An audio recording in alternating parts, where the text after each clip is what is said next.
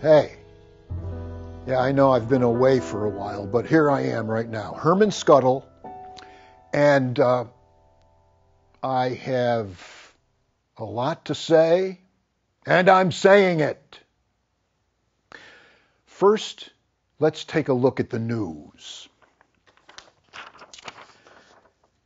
A hair salon owner in Ohio named Steve Warden he set a world record by creating the largest human hair ball. It weighs 225 pounds and it's made from hair clippings from his salon. Mr. Warden also had a sale on hair color and three people died. Uh, also in the news, a German Shepherd from Leamington Spa, England, the German Shepherd gave birth to 16 puppies. That's twice the number for the breed. Meanwhile, another German Shepherd from the same town was killed by a cat. The cat got stuck in the dog's throat. And uh, finally, in the news, a New Zealand man named Zane Wedding he went to his doctor complaining of blockage in his ear. Turned out to be a cockroach in Mr. Wedding's ear canal. Well, the doctor was able to kill the cockroach by swatting it with a newspaper, proving that the media can be very toxic. Uh, now then, I'll tell you that I was uh, taking a walk in the rain along the Ashuwillticook Rail Trail. You know where that is, right? Okay. I was getting in a few good workout miles. I was getting soaking wet, but I was getting peace and quiet.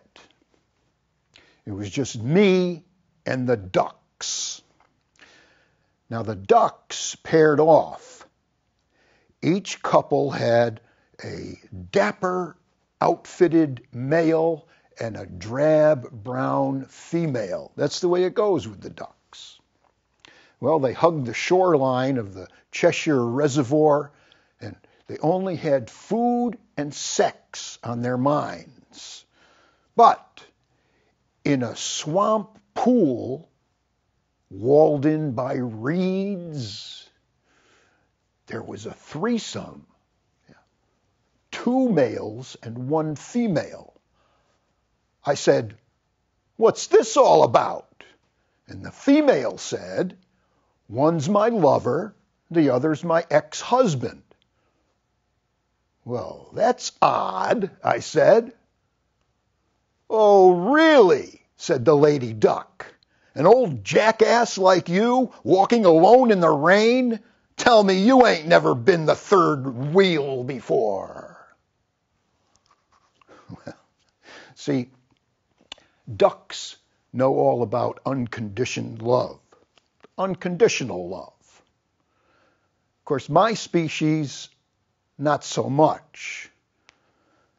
Unconditional love among the human race has gone to the dogs. Guys like me get uh, tired and all floppy and we don't get second chances. And that's tragic because there's at least one woman still out there without me to fetch and patrol for her. So she's reduced now to six cats and no lovers. The lovers got old and they went impulse shopping for trophy mates. But I'm telling you, that this one woman, she woulda, coulda, shoulda been more or less perfection by now. And now time's running out. My nose said, recycling me for lapdog service would be very smart of her. So I wandered up on her porch just to see what would happen. Just like I did when I was a stray the first time around. when I was the mad dog, untamed and unaccustomed to giving unconditional love. Well, I got there. And the first thing I found out was she has no cats, just one dog. And because that excitable little dog of hers didn't know me, he yapped and snarled as soon as I came through the front door. He was a little terrier type named Tucker. Now, look, I called in advance. I always do that. I'm not that stupid. I called this woman in advance, and she invited me to come for a visit. And, um, well, she just so happened to be my former spouse. But there was no yapping and snarling between us. None of that these days. That kind of bad behavior used to be mutual back when I was fully rabid and foaming at the mouth. But now this dog of hers, this Tucker, the irritable pipsqueak cur, he wouldn't quit. He yelped, he scowled, he nipped at my ankle. How could me and my ex have some cheery quality time in the company of this antagonistic pest? Well, my ex was prepared. She had a timeout cage for the dog, and once inside, the dog went mute. Coffee was served, and we exchanged memories and gossip and twisted humor. And as I was leaving, I pointed to the subdued dog in the cage and I said, You know, if you had one of those things to put me in when we were together, we'd still be married. She paused and she said, Well, you sure as hell ain't getting a second chance.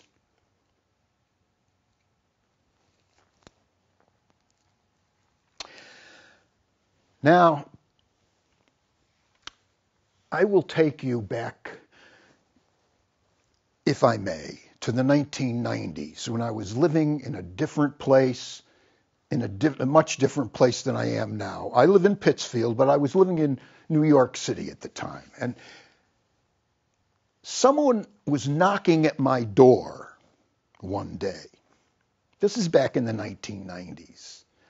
Even though I had a sign posted outside saying, think twice before you knock.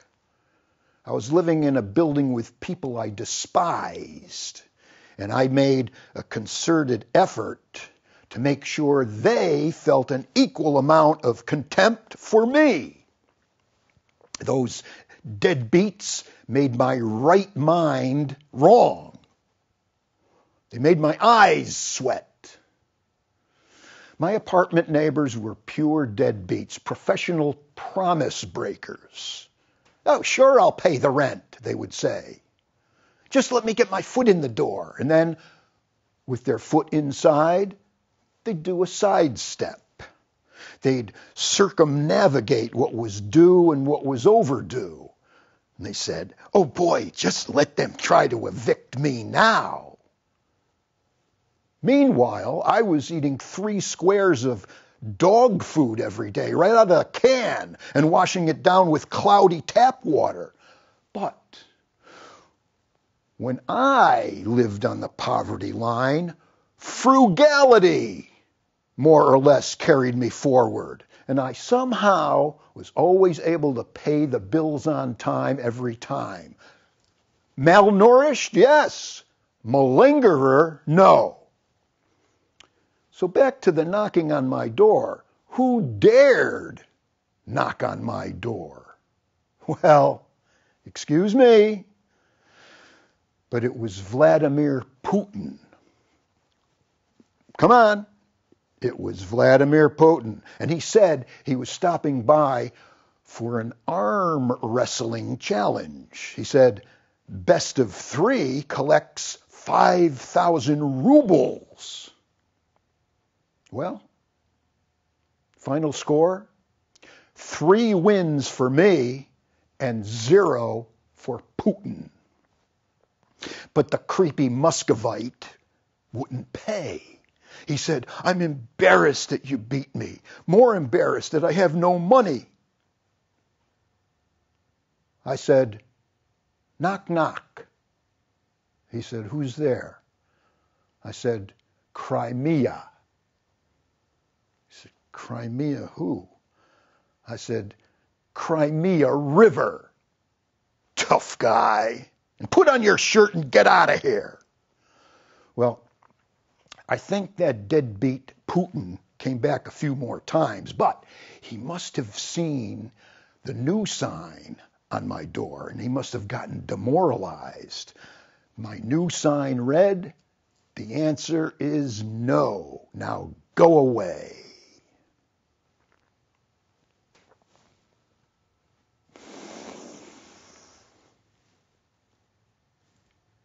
You want a song? You want to hear a song? Okay. I wrote this song last night just for you.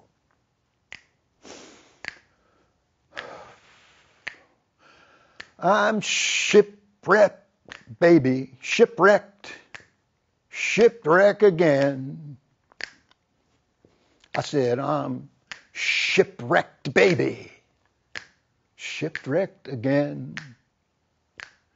I'm shipwrecked, baby, and I'm going down the drain. Well, I'm a train wreck, mama. I'm way off the track. I said, I'm a train wreck, mama. I'm way, way off the track.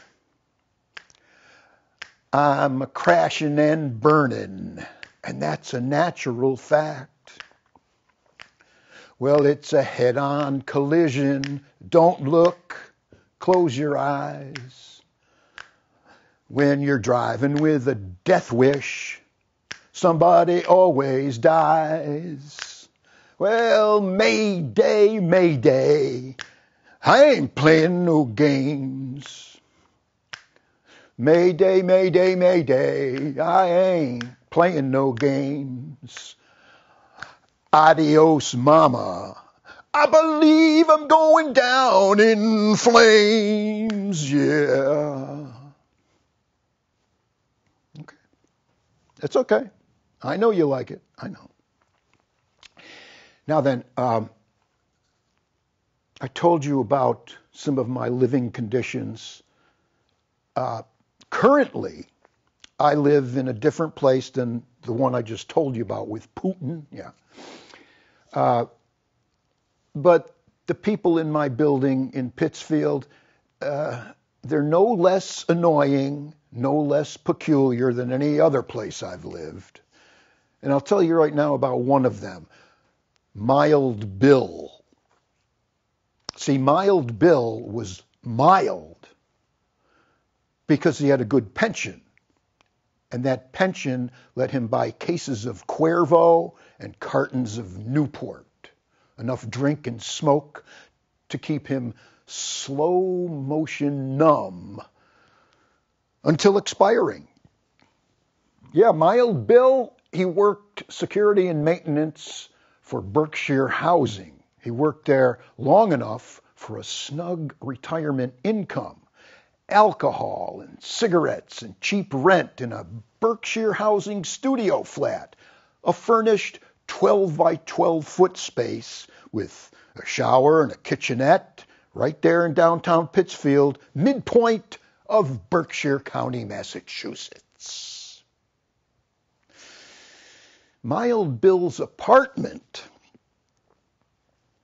get this, Mild Bill's apartment was once lived in by three separate victims of self-destruction one from overdose, one from Russian roulette, and one from swan diving off the roof.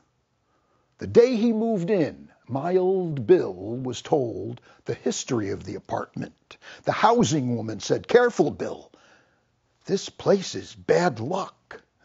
But Mild Bill, he lived with no pills, no guns, and he had strong acrophobia.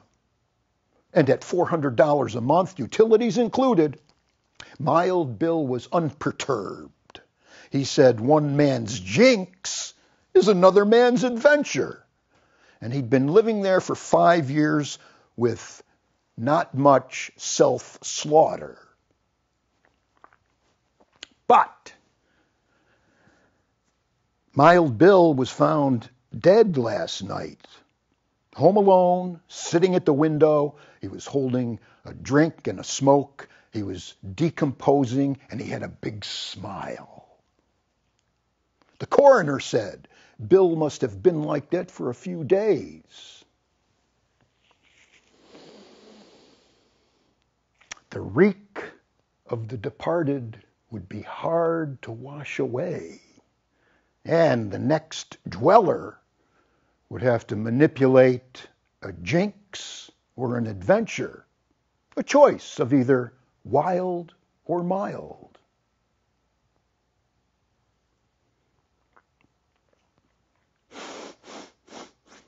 Hey,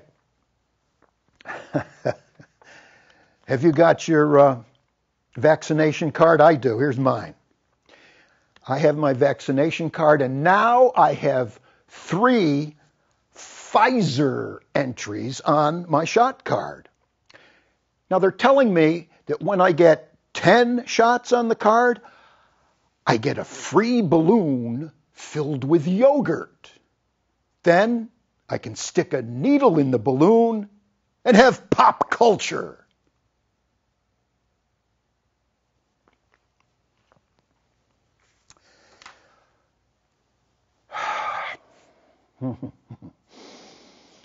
Shall I take you back to uh, last Christmas Eve? Let me take you back to last Christmas Eve. Why not? Let's go back. That's when I met a man. And uh, if I knew his name or anything about him, I'd tell you. But I had no idea who he was. He was just a man in passing. I was on my way back from getting bread and milk and the newspaper over at the convenience store. Was Christmas Eve in Pittsfield. But this man, he knew me.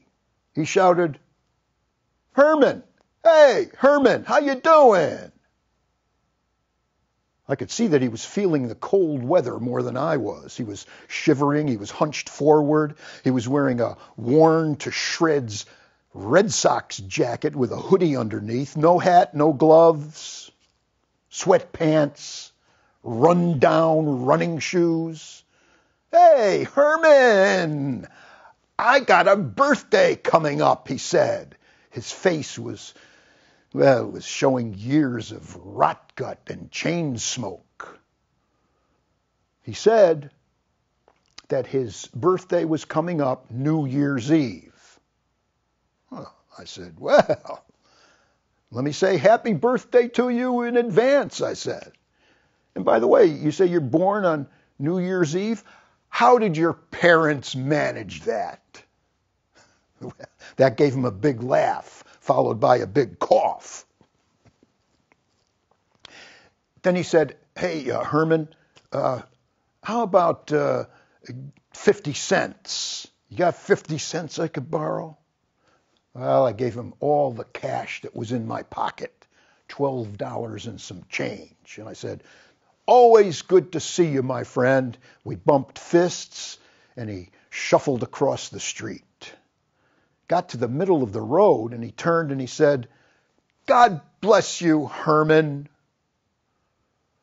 Well, back home, I put away the milk and the bread, and I fell asleep reading the newspaper. But it was a transient sleep with hazy dreams. But I was getting Yuletide comfort and joy in small measures.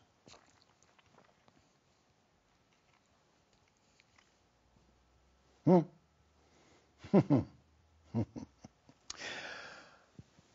well, I uh, oftentimes tell you to uh, please don't send me any mail.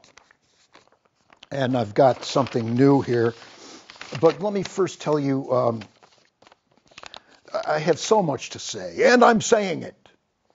Before I get to these things, uh, back to the uh, apartment situation with me. I just I have all of these things on my mind about apartment living. Let me tell you about what happens there when I'm I'm bored and uninspired. What I do is when I am bored and uninspired, I leave my apartment door wide open.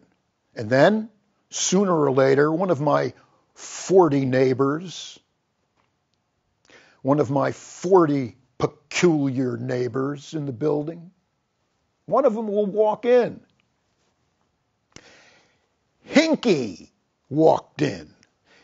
Hinky is my age, lives across the hall. He's a reasonable facsimile of Lenny from Of Mice and Men as big and dumb as they come. Well, I was watching a clip of Adele on my laptop. She was singing the James Bond song at the Oscars, Skyfall. Well, Hinky pulled up a chair next to me and stared in awe. And when the song was over, he said, Wow, that Shirley Bassey looks great for her age.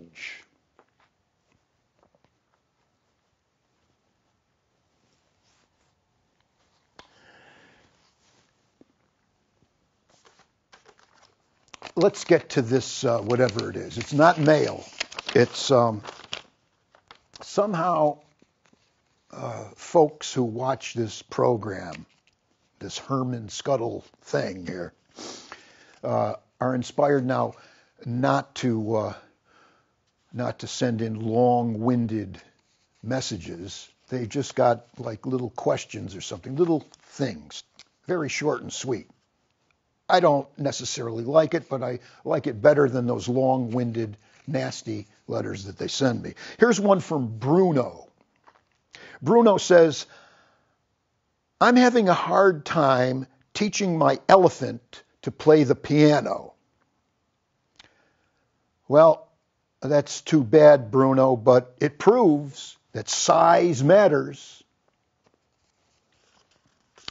Uh, Roxy is here. Roxy says, uh, when opportunity knocks, I'm not sure what to do. Roxy, pretend you're not home. Orion writes, I'd like to do more reading. How should I start? Well, you can start by putting subtitles on your TV. Uh, here's something from Chardonnay. She says, I'm having really, really, really bad luck with my scratch tickets. What would you do if you were me? Well, I'd start buying scratch tickets at a luckier store. And the last one comes from someone named Rocco. Rocco says, I hate doing laundry. Any suggestions? Yeah, do less laundry and use more deodorant.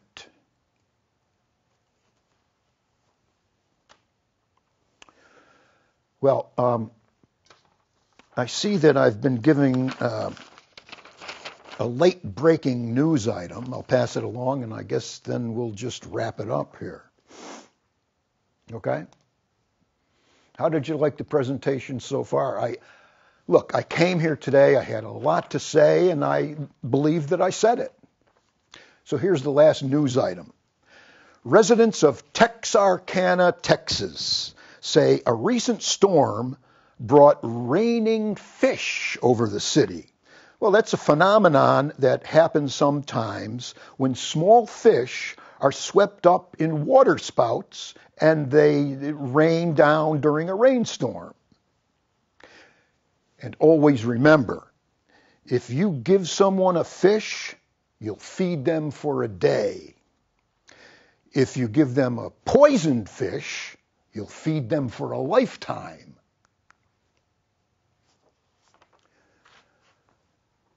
Uh, well, I'm going to go uh,